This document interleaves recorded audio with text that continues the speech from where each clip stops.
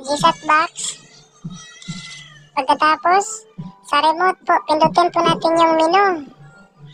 Ayan, may nakasulat po dyan, install settings at information. Sa ano po tayo ma'am, sa ah, sa information po tayo kasi dyan po natin makikita yung ano, serial number na hinahanap niya. So, i-click po natin yung information, ma'am. Pindutin po natin yung okay.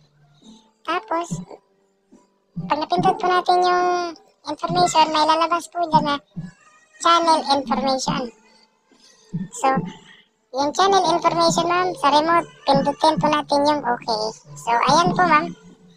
Yung hinahanap yung serial number, ayan po, yung may 77405 at saka makikita rin natin dito yung quality at saka power.